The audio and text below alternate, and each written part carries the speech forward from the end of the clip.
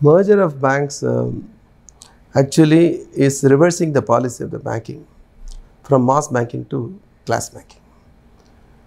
The very purpose of nationalization as uh, envisaged in the Banking Acquisition Act 1970 is that common man should have access to the banking.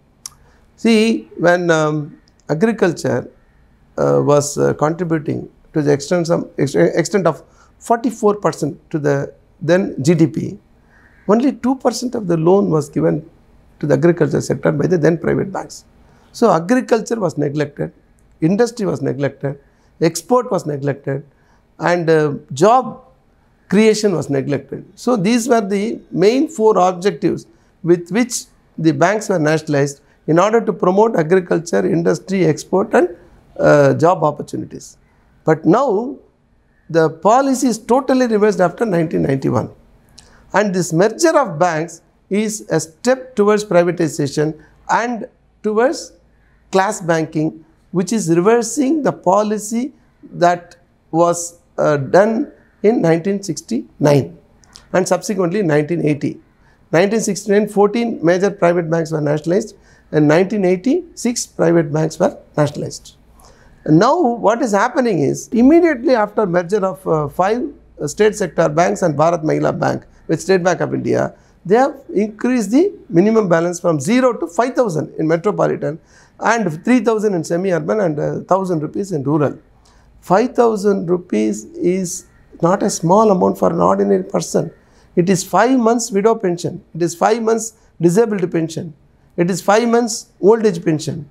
People have to forego their living for 5 months, then only they can keep 5000 rupees. If otherwise, they will be fined 100 rupees. So, thereby in 2017-18 alone, uh, State Bank of India fined ordinary people to the extent of 1782 crores. The same State Bank of India has written off 27,000 crores corporate loan during this period.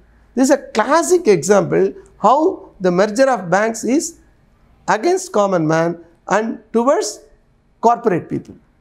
And this same State Bank of India has become a junior partner of 30% shareholder in Reliance Payment Bank, which is now just a startup bank.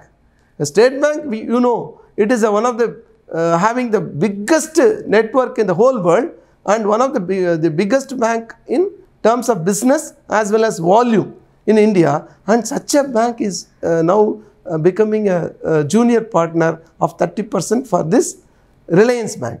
So, all these things uh, very clearly depict that uh, the bank merger is towards class banking. Now, another three banks, Dena Bank and Vijaya Bank merged uh, with Bank of Baroda and these bank which is the second largest public sector bank and third largest bank is again going to towards uh, pro corporatization. Uh, now itself even before merger from February onwards Bank of Baroda has increased its uh, uh, minimum balance from 1000 to 2000 and 10,000 rupees has been fixed for the current account balance. So, this is a very clear indication that this bank is also going more towards the in favor of the uh, class banking uh, leaving the mass banking aside.